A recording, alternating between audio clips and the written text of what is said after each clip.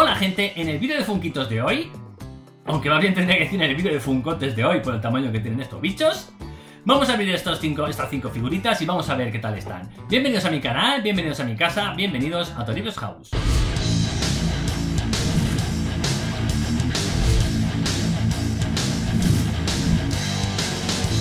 Bueno, como veis son estos 5 pop de 6 pulgadas.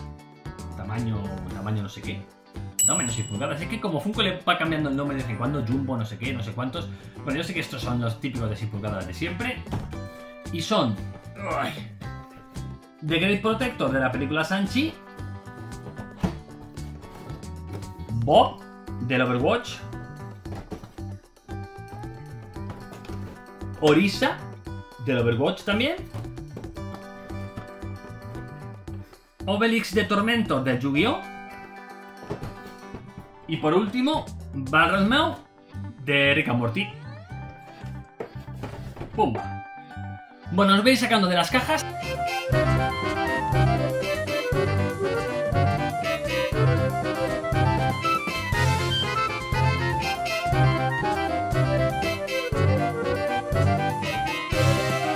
Bueno, pues ya estoy viendo aquí las cinco figuritas fuera de las cajas, la verdad que están chulísimas. Curiosamente cada una ahí con unos tonos y unos colores diferentes. Mola este- esta composición de colorines, de colorinchis, uno rojo, otro azul, aquí amarillo, verde, este frutti frutti, este plateado y el sanchi de nata fresa. Bueno, está muy bonito. Por ejemplo, The Great Protector de la película Sanchi, que básicamente el dragón es lo mejor de la película. Muy bonito, muy bonito. Precioso, las escamas, las patitas, aquí sobre este. Esto es una. Esto es el agua, están sobre el agua y está como la ola abierta. Está muy bonito, la verdad es que está muy logrado este pop, muy chulo. Este pop de The Great Protector. Básicamente el dragón es lo mejor de la película, porque el resto de la película, pues como cualquier otra película de fantasía oriental que hemos visto 50.000 veces, lo que pasa es que esta es de Marvel y claro, tiene más, más tirón, pero vamos. Nada del otro mundo la película esta de, de Sanchin, Sanchinchin o de Sanchin o Chinchin. Bueno, luego tengo estos dos del Overwatch. Tenga Bob. Fijaos qué chulada. Bob del Overwatch. Con su señal de tráfico que te meto leche como te pongas ahí tonto. Fijaos ahí detrás la cazadora que pone Decklock Rebels. Detallitos muy bonitos. La verdad es que los juegos de videojuegos suelen estar muy chulos. Muy bueno, muy chulo. Espectacular, la verdad es que muy bonito. Tonos, los colores, el sombrerito. Muy bonito. Muy bonito este pop. Bueno, el siguiente es Orisa del Overwatch. Fijaos, un cuadrúpedo perfecto. Como mola este cuadrúpedo mecánico súper chulo. La verdad es que el día que hagan los Funko Pops eh, articulables, pues puede ser un día histórico. Ah, Oye, esto se mueve. No, si lo, lo muevo yo a la bestia. a ver, la cabeza más o menos gira así un poquito, pero no, no está hecho para. No es un pop hecho para, para rotar. Estoy pensando como lo rote, lo voy a rotar, pero solo una vez. Bueno, entonces, este es Orisa del Overwatch. Bah, Brutal, los colores, todo, la verdad es que está muy bonito. Está bastante logrado. Si vemos el personaje del, del videojuego, está bastante logrado. Siendo un, muñeco bastante complejo de hacer, fijaos. Y los ojos tan curiosos que tiene, me encantan. No son los típicos ojos negros o rojos o blancos, son estos ojos extraños que le han puesto.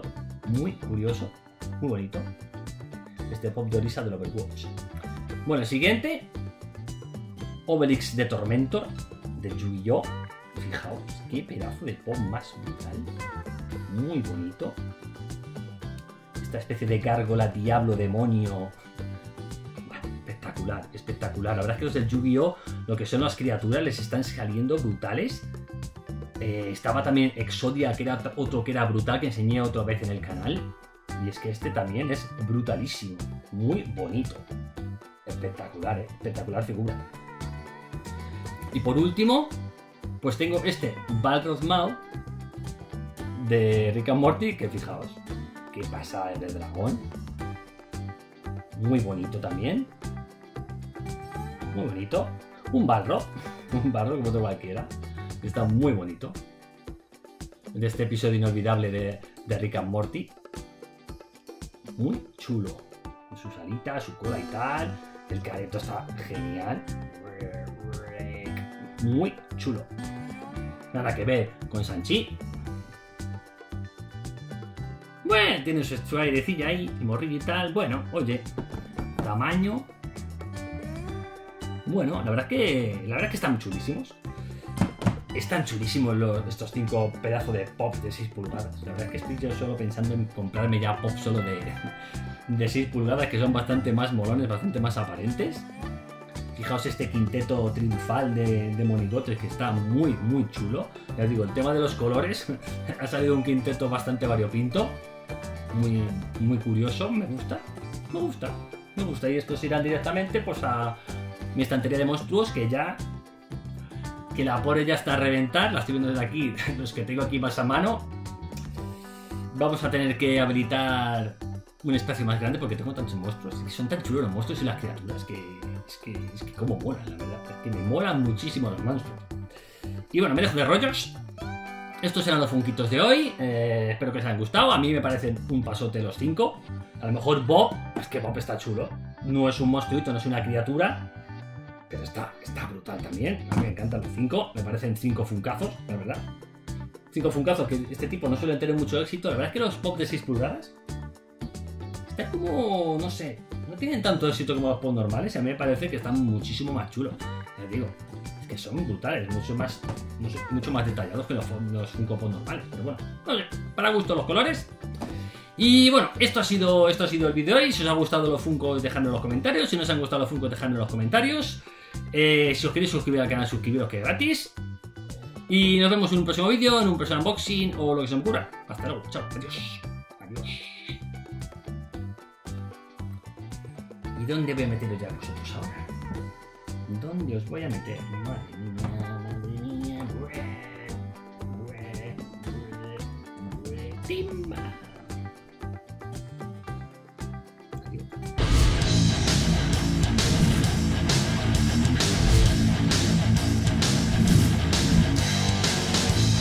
Bueno, no tiene nada que ver con Funko, pero es cierto que algunos me han preguntado que este bicho, que qué es este bicho que, saqué en el vídeo ese corto el otro día. Y bueno, la verdad es que este bicho es de Hip, es una figura de las series de Spawn, de la serie 12 de McFarlane. Fijaos qué chulada, un bicho especie extraño formado por trozos de basura y trozos de cosa. Y la verdad es que es un ejemplo de cómo las figuras antiguamente eran espectaculares. Por lo menos las de McFarlane, estas figuras de acción eran totalmente diferentes, no son como las figuras de ahora. Estaban mucho más detalladas, brutales, los materiales se ve esto consistente. Lo curioso de esto es que tiene pegado bolas de papel y el material que tiene pegado en la propia figura es papel. O sea, aunque la figura es de PVC de plástico, tiene trocitos aquí como de cristal y botellitas, pero los papeles, estos que tiene por aquí, pues son papeles de, parece material de papel. Y ya lo estáis viendo, una figura espectacular, es una pena que luego McFarlane eh, bajase un poquito la calidad. Es cierto que ahora como figura de acción está teniendo bastante éxito, sobre todo la- las últimas, las de DC. Han tenido mucho éxito, es más, creo que han ganado un premio hace poco de la mejor serie de figuras de- del año 2021. Y bueno, yo creo que esta figura es espectacular. Y una cosita chula que tenía además, era esta. Que es que la figura es translúcida, a ver si se ve. Fijaos, la figura es translúcida. Uh, uh. Es que mola un montón que sea translúcido. Una cosa curiosa. Chorrada, pero me hace gracia que sea, que sea translúcida. Porque no hay muchas figuras que sean translúcidas. La verdad es que yo no sé si era para abaratar costes, pero la verdad es que el acabado y tal, con una lucecita, queda, queda muy chulo. Este, de Hip, de las Spawn Series. Y nada más por mi parte. Hasta luego.